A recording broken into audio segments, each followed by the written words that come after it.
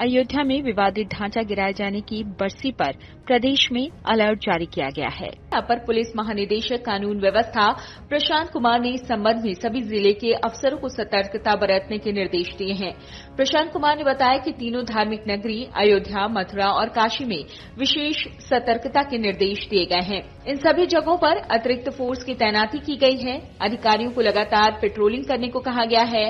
वरिष्ठ अधिकारी प्रमुख ज़िले में कैंप कर रहे हैं। इसके अलावा अन्य स्थानों की सुरक्षा व्यवस्था के लिए 150 कंपनी पीएसी और 6 कंपनी केंद्रीय अर्धसैनिक बलों को लगाया गया है। उन्होंने ये भी कहा कि आधा दर्जन संगठनों ने विभिन्न कार्यक्रम आयोजित करने का ऐलान किया था, लेकिन पुलिस के अधिकारियों द्वारा बातचीत के बाद सभी संगठनों ने अपने इस फैसले को वापस ले लिया है।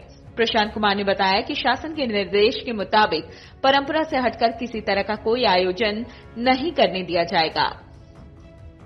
Video desk Amar Ujala dot com. Download करें अमर उजाला ऐप और पाएँ खबरें लगातार।